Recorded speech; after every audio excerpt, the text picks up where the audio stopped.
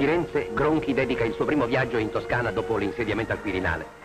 Firenze lo ringrazia con quel puro accento che è per Gronchi il parlar nativo, di casa.